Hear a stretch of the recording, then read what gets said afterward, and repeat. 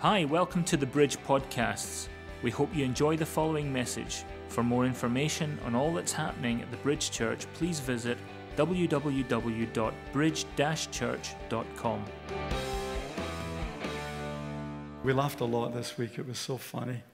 In fact, I almost feel like I've picked up an Irish accent. but uh, it, was, uh, it was just a wonderful, wonderful time. So uh, we're blessed. We're doing well in, in Sydney. Uh, things are going well, and uh, there's always challenges, but we overcome them. And uh, church is doing well, family's doing very well. So we're excited about that.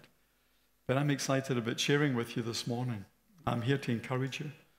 I'm here to stir you up, encourage you, and help you by the grace of God as much as I possibly can. So, would you turn in your Bibles to Psalm 102? We'll just start there quickly. Psalm 102. How many of you, um, did you bring your Bibles, by the way? Because I don't hear much shuffling going on. Psalm 102. What's that, Barbara? I, iPhones. No, no, no, no. Let's get back to the Bibles, the real thing. You're too advanced for me, Barbara. That's what you are. So, how many of you believe in, how many of you kind of feel? I mean, you know, we preach a lot at the moment and we're trying to stir people up, you know, a lot of the times. You know, you hear preachers and they're trying to stir you up, and I guess we all do that. But you know, I want to come from a different angle this morning. And the angle I want to come from is this that God is actually stirring you up Himself. There is something happening right now in the body of Christ worldwide that we sense that God is doing something. Can you feel that? Has any, has, any of you, any of you felt that? That there's something happening, there's change taking place. God is getting the church ready for something that is bigger than any of us can actually imagine. And I believe, and I've said it for a long time, and I'll have another book here tonight that talks about revival.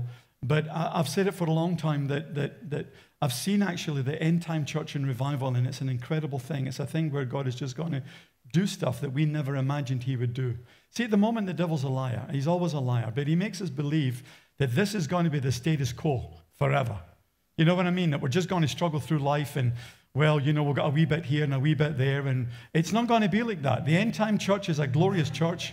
the end time church is a church full of power.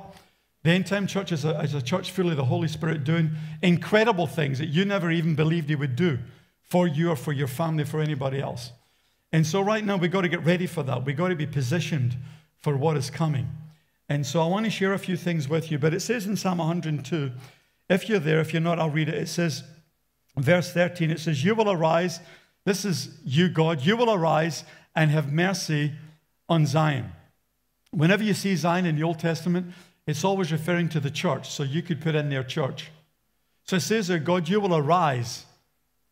You will arise and have mercy on Zion. You know, there's, there's two things there's mercy and grace. Grace is, is, is when, you know, we, we, the grace of God works in our lives because we're children of God, because we, you know, we do certain things and God covers us with grace. Mercy is a little bit different. Mercy is when God does stuff for you that you don't actually deserve. Amen. So God's saying, you know, in spite of the, the condition that the church is in, there's going to come a time when God is going to arise, it's an incredible picture of God actually arising and having, having mercy on the church. When God will just start to do stuff. And you know, like Pastor Bernie's been teaching you, this is what we got to see. We, we got to look for supernatural events that's going to take place in your personal life. That God is going to do supernatural things in your life. He's going to do supernatural things in your family's life. He's going to give you breakthroughs that you only dreamt were possible, but you've got to dream those things. There's coming a time, and I believe it's right now. I believe we're in a season right now for God to arise. But I want to give you a picture of how God arises and what activates. God never does anything alone. He's chosen to work with man. So God and man always work together. So there's a part. God is always ready. But He's looking for us to activate that readiness, if we can say it like that. And this scripture brings it out really nicely. It says there, For you will arise and have mercy on Zion, the church, for the time to favor her, yet the set time has come. So God knows there's going to be a time when He's going to favor the church with incredible mercy. It says then, giving us insight into when we should be ready. The next verse says there, For your servants take pleasure in her stones. He's talking about the church. And show favor to her dust. He's saying, you know, I will arise and, and, and pour out my mercy upon the church when my church actually takes pleasure in my stones, he's still talking about the church. You know, when they take pleasure in building the church, when they take pleasure in the dust, he's talking about the small, seemingly insignificant things. You know, when my church starts to take pleasure in that, when they start to get excited about the church, about building the church, about prayer meetings, about coming to church regularly, about reading their Bible, about praying for the sick. Those are kind of the big things. The smaller things are when you just do the little things, when you show an act of kindness to someone in the street, or when you, even if you usher at the door, God says, I can build my church through people who are like that. Amen? That's what God is, is looking for on our part. He's saying, when, when you take interest in me, I will take interest in you. Oh, hallelujah. Now, not everybody, you should be more excited about that. Not everybody, not everybody's going to be ready for that. A lot of people say, well, you know, they just coast. But I remember when Barbara and I got born again, we were actually excited. I was so excited when we, we went through that move of God in South Africa. I was so excited about the, the presence of God. These, these revivals where people get excited, how do we analyze that? Because we read about great Scotland as being great revivals. How do we analyze a great revival? A great revival is when God just kind of comes. It's, it's His grace and His mercy. Just kind of He just touches a generation or He'll touch a people, and all of a sudden they know that His presence is there. And so there's a there's an energy that springs up. It's like, whoa, come on, let's let's pray like we never prayed before. Let's believe God like we never believed before. This is exciting. God is here. Amen? You've read about it. But I believe that this generation is going to experience that.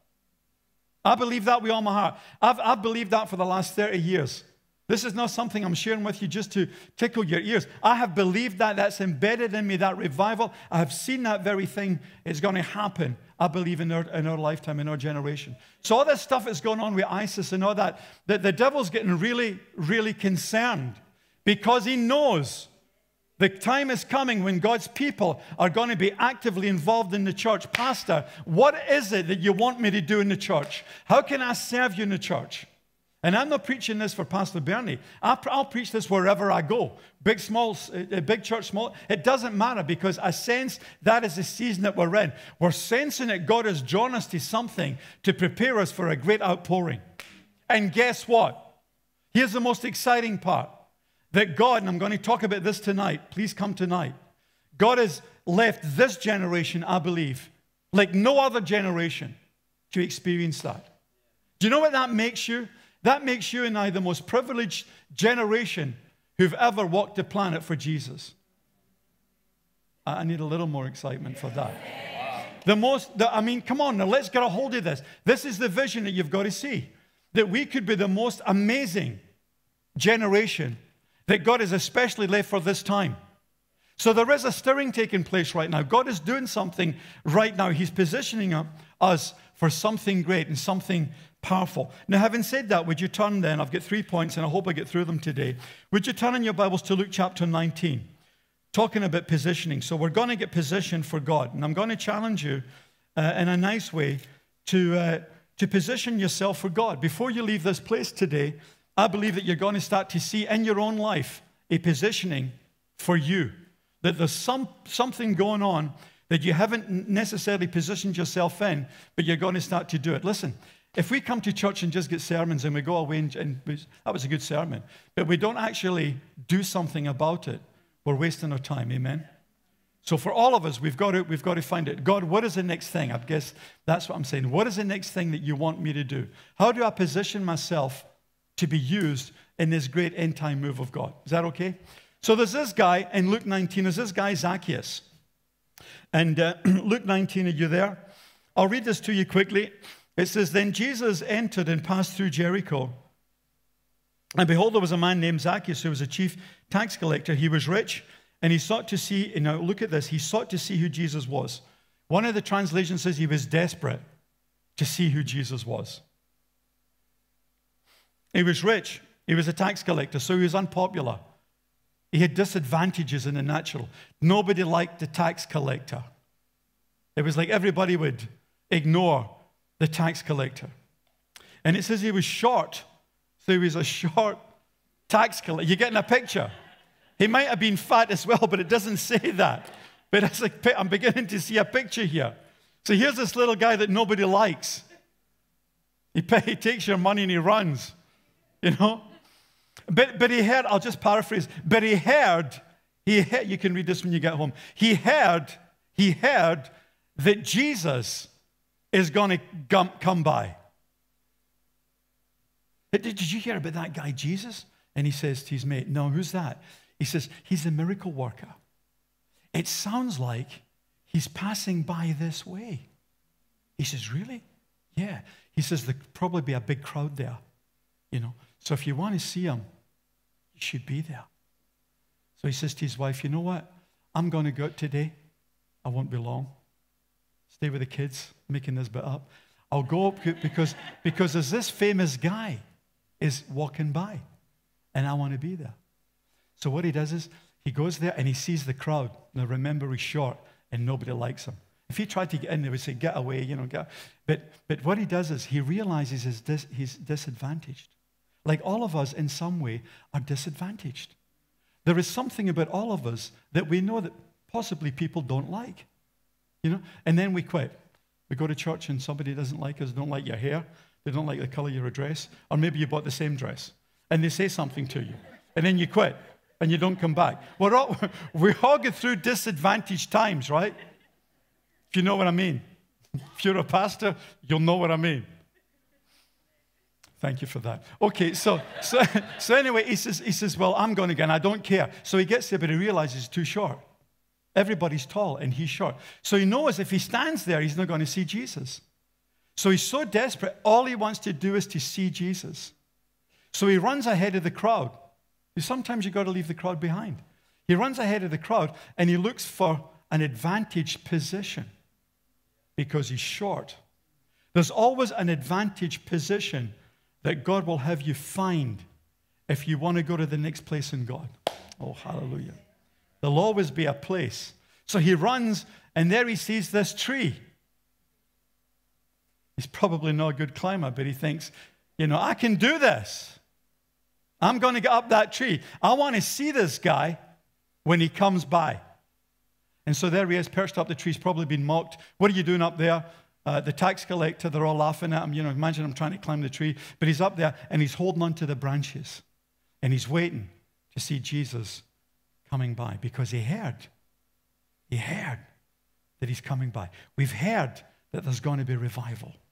We sense that there's going to be revival. Are we positioned for it? And so Jesus comes along. And here's the incredible thing about it Jesus is going somewhere else. He's actually going to Jerusalem. But as he gets to that spot, here's a guy up the tree. There is thousands of people following Jesus. There's throngs. And every time Jesus stopped, the whole crowd would stop. Can imagine. But he gets to this place, and all of a sudden he stops. They must have said, Why is Jesus stopping? He's the miracle worker. What is he doing? He stopped. He's talking to some guy up a tree. Amen. They're having a dialogue. God and the tree man. They're talking. And he says to Zacchaeus, Come down, for today I must, I must come to your home. I must come to your home. Amen. Zacchaeus couldn't believe his luck, one of the translations says.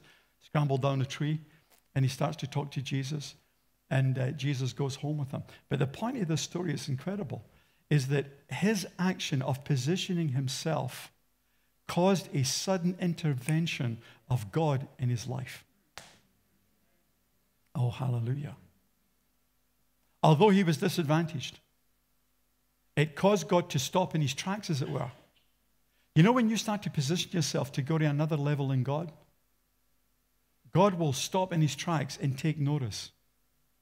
Yeah, Isaiah 60 talks about arise, shine, and your light will come. You know, when, when you arise, it arouses God, if I can say that. God is aroused by you when you arise. It's like God says, Oh, wait, Tom is looking for me in a greater way. Tom believes that I can use him for revival. Tom's, Tom believes that I can heal him. Tom believes that I can get him through whatever he's going through. God is aroused when you arise. Hallelujah. Arise, shine, for your light has come. Amen. And so what happens? He gets on the phone to his wife, Zacchaeus, and he says, he says, I, I, uh, she says, where have you been? where have you been? His wife ever say that in Scotland. Where have you been? Well, at the moment, I've just, you know, I, I went for a walk. He's trying to be diplomatic. I'm making this bit up. I went for a walk, and I ended up climbing a tree. And as I was up the tree, God walked by. And God started speaking to me. And she says, You're crazy. Have you been drinking again? He says, No. And the other thing is make the bed, clean the house, because I'm bringing him home. She says, Who are you bringing home? He says, I'm bringing God home. G O D. God is going to stay at our house tonight.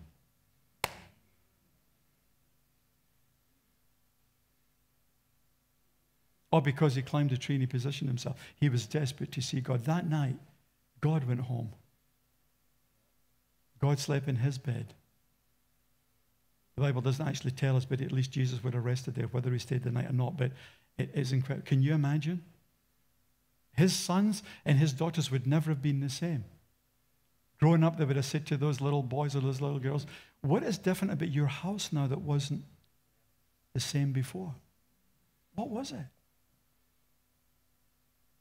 Oh, God stayed with us one night. Why? Because my daddy was desperate to see him. He just wanted to see him. But because of that desperation, God come home. And Jesus actually said, Salvation has come to your house because he positioned himself. Isn't that an incredible story? It's an incredible story. Point number two. Let's go to the next one. Point number two. So, the, so he, he positioned himself for God's intervention. There's a story, you don't have to go there, in, uh, in, in 2 Chronicles chapter 20. The armies are coming against King Jehoshaphat, a great king. And, uh, you know, they're surrounded by, by the enemies of, of Israel. And uh, at Judah, actually. And, uh, and so they don't know what to do in the natural. And then God says something. I'll read it to you from my notes here. He says this He says, You will not need to fight in this battle. So they're, they're, they're outnumbered. There is no way in the natural that they can win the battle. It is impossible. An impossible situation. You know, there is times when we go through, we have to go through seemingly impossible situations. All of us have to reach a place where we know this is impossible. Amen? You see, there's two bits. You, you have to operate by faith and then you get breakthroughs and you say, Well, praise God, I applied my faith and that was great. And God answered my faith. That's great. We've been taught that and I know you've been taught that well in this church. There's another place where you know that for you to get through this thing, you've done everything, but it's going to take an absolute miracle. Only a God intervention can do this. God, I don't know what to do. You ever been there? I, God, I've no idea. In the natural, this is impossible. So God will allow these impossible situations, as it were, to come your way to see what you're going to do. This is exactly what happened here. And so they're surrounded. There's massive armies on all sides. And in the natural, they're going to die. And he says to God, he says, You know, God, uh, basically, we don't know what to do. And God says this. Let me read this to you. It's incredible. God says, You will not need to fight in this battle. Oh, hallelujah. He says, Position yourselves, stand still, and see the salvation of the Lord who is with you. O Judah and Jerusalem, do not fear or be dismayed. Tomorrow, God against them, for the Lord is with you. In other words, take your stand. Take your position. Just stand in me. You won't have to fight this battle. I'm going to do this battle. So he says, Okay, I still don't know what to do. What must I do? And then the next bit, but it says, and, and he bowed himself and he worshiped and he praised God. And so they positioned himself with praise. Do you know that sounds easy to position yourself with praise? But when you position yourself with praise, the enemy knows he's defeated. Amen. All they did, it was like, God, shouldn't we, shouldn't we, you know, let, let's get 10,000 angels. Let's, let's pray them in. Let's do this. Let's do that. Let's do the next thing. Give us a strategy. Uh, and, and God says, not stand still. Take stock, basically, of your salvation. Consider, meditate for a minute, just for a minute, what your salvation actually is. What is it that I have done for you? If I could deliver you from eternal hell, then I can deliver you from this little skirmish. To you, it might be big, but to me, it's nothing. Consider, just consider that the devil could not, with these, all his demonic forces, he could not hold you captive. Just consider that for a minute. When you says yes to Jesus, the enemy could not hold you back simply because you believed in, in your heart and confessed your, with your mouth Jesus. And the devil was holding on with everything he could and he had to let you go. God says, just consider for a minute what I have done for you. So you meditate, you think, you consider. Am I going to heaven? Yes, I am. Can the devil stop it? No, he can't. Isn't that an incredible thought? That when you die, you're going to heaven. The devil would love to take you to hell, but he can't. It's impossible.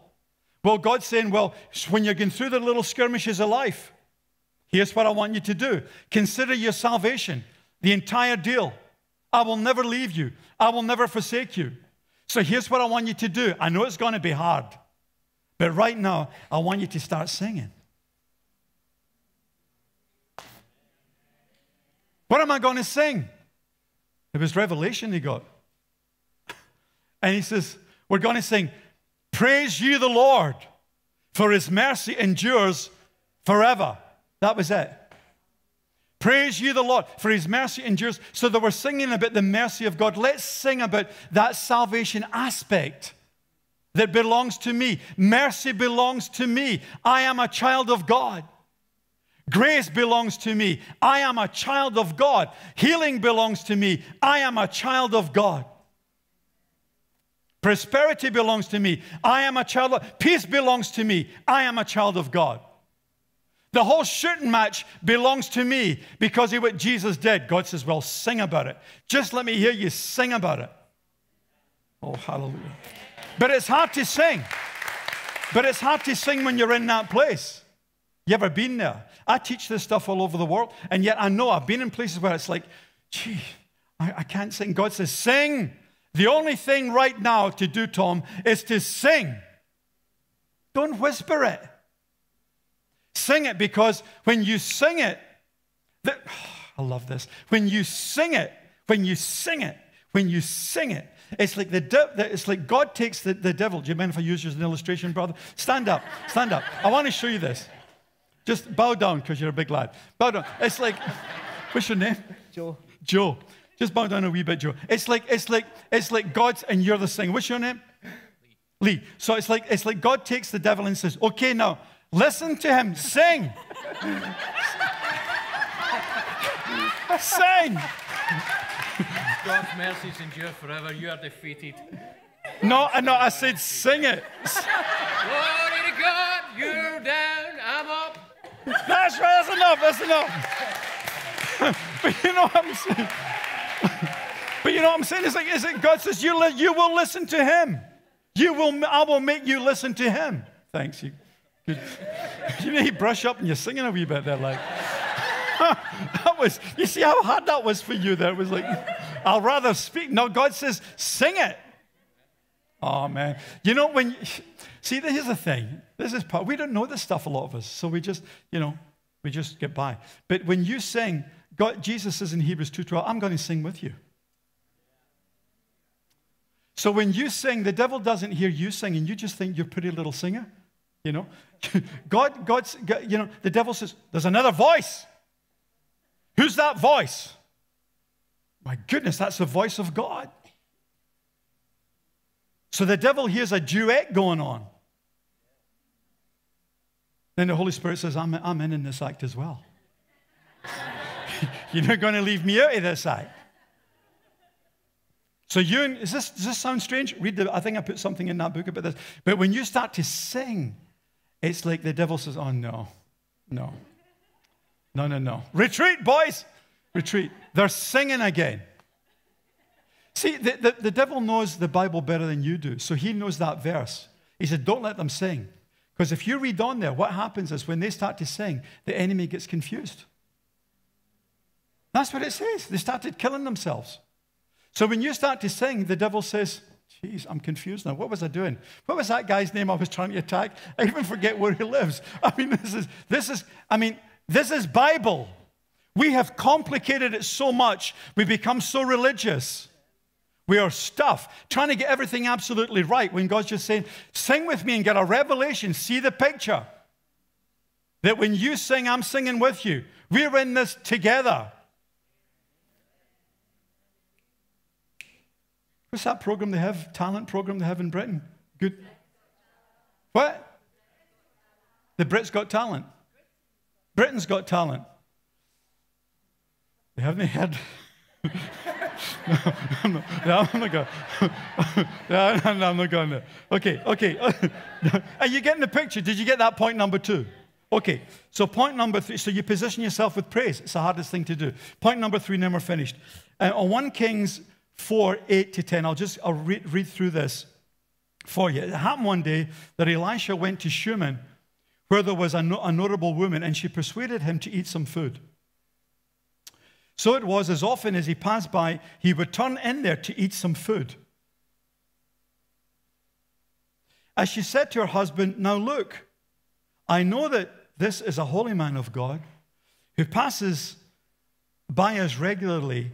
Please, let us make an upper room on the wall and let us put a bed for him there, and a table and a chair and a lampstand lampstand, so it will be whenever he comes to us, he can turn in there. This is probably the most powerful point. She positioned herself to receive the man of God. She positioned herself to receive the man of God. She prepared a place to receive him. Now, you know, this man was a prophet. So it wasn't just a man she was receiving. What she was receiving was everything that that man represented. A man of God represents more than just a preacher. But she was re- he represented the kingdom. So she was, she was positioning herself, herself to receive the kingdom by making him a bed. She was positioning herself to receive the word of God because that man carried the word. She was positioning herself for more than she even thought. It goes on and it says this. And he said, What then is to be done for her? He asked his servant. And Gehazi answered his servant, Actually, she's got no son. And her husband is old. In other words, she's got no future. She's got no legacy. She's got nothing to pass on whatever she's got. And when he called her, she stood in the doorway. Then he said, About this time next year, you shall embrace a son. And, and she said, No, my Lord. She didn't even believe him. Man of God, do not lie to your maidservant. But the woman conceived and bore a son when the appointed time had come, of which Elisha had told her. But God was basically saying, Because you've prepared a place for the man of God, because you've honored the man of God, honoring is a big deal. Because you've honored the man of God, God was saying through Elisha, ask her, just ask her, is there anything she would like? Amen. What is she, what is she, what is she looking for? Because she's honored you, man of God, I want to do something for her. What does she want? What does she need? She doesn't have a son. Man of God, speak the word of the Lord and tell her this time next year she'll have a boy, she'll have a son. In other words, she positioned herself by honoring the man of God for a future legacy. Judah, by praising the Lord, positioned himself for the nation to be delivered. Zacchaeus, by positioning himself up that tree, got his whole family to be saved.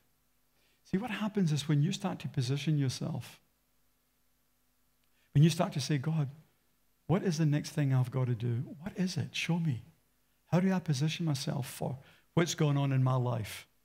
How do I position myself to get healed of this terrible thing that's been hanging on to me forever? How do I position myself to get my family who are broken, who are whatever, they're going through hell? How, how, what, what am I supposed to do now to get to that place? God, what am I supposed to do? Tell me what I'm supposed to do.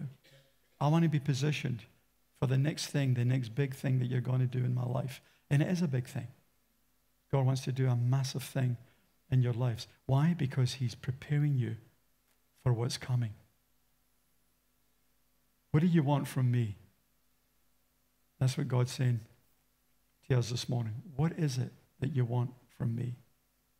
And I'm going to pray that as you go away with this message, that you will go away this afternoon and just spend a little bit of time and ask God, God, what is it?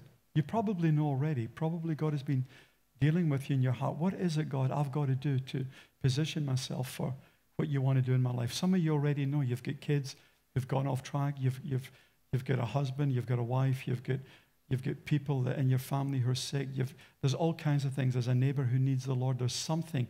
You know there's plenty to do in the kingdom. How can I position myself, Lord, for your kingdom? And as you start to do that, I believe miraculous things will start to happen. I have, honestly, I've got to believe for the miraculous. I've got to believe for a revival that will sweep the nations. I cannot believe for anything less than that. I think it would be wrong of me to believe for anything less than that when we see what God has promised us and we see the potential. But revival actually starts not by some great man getting up and preaching and everybody comes like we've seen in the past. The revival in the end times is going to be through individuals. Just there's going to be revival through individuals like you and me, just kind of normal people. And, and God's going to stir something, and something is going to happen in your life that is going to be incredible. Just amazing, supernatural, something you could not even imagine. A miracle, an impossibility become impossible. That is the God that we serve. And that is the time that we're living in right now. We're living in a season of tremendous opportunity, a season of miraculous. Go away and ask God, like your pastor has said, like Pastor Bernie said, and dream these dreams. See these things. Don't go away today and do nothing. And even if there seems to be nothing, Ask God, show me, God. I want to be involved in building the kingdom. I want to be part of this great end time move of God. Tonight, I'm going to share with you on a now generation, a generation, the, the, the, now generation, the characteristics of that now generation. What will it look like? It'll add on to what I'm talking about this morning, and it may give you a little more insight, specifically the practical things to do. Is that okay? Can we just pray? Josh, could you just come up and just uh, play? I enjoyed your ministry so much this morning, too, brother. Thank you. Thanks for listening. Remember to visit our website, www.bridge church.com, and connect with us via Facebook and Twitter.